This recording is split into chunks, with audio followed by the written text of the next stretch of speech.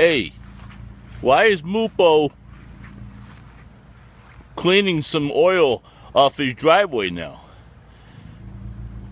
I don't know. Why is he doing that all of a sudden? It's kind of ironic, don't you think?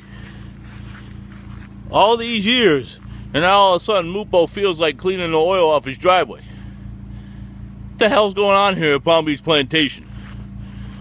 Yo.